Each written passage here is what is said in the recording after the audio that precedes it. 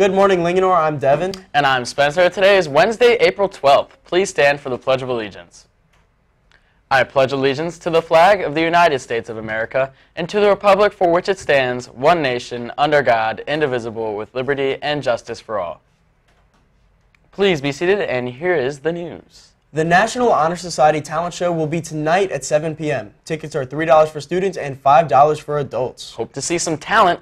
Students who requested work study or mentor, mentor internships on your schedule next year will receive information after spring break from Mr. Brown and Ms. Radel Harris about the application process for these programs.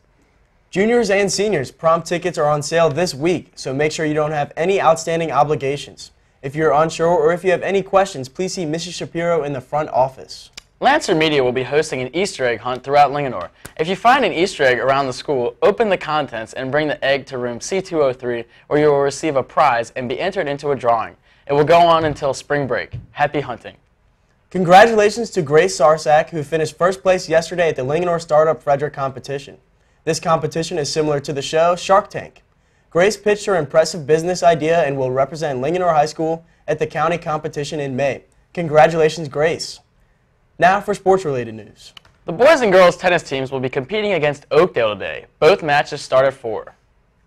Girls JV lacrosse won against Tuscarora 9-4. Girls varsity lost 13-7. And boys won 17-1.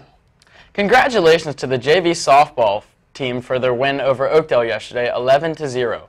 Summer McClellan was the winning pitcher who pitched a perfect game. Wow, that's impressive. That's all we have for you today. To replay this video or watch previous announcements, visit lhslance.org. Until next time, have a wonderful Wednesday, Linganore.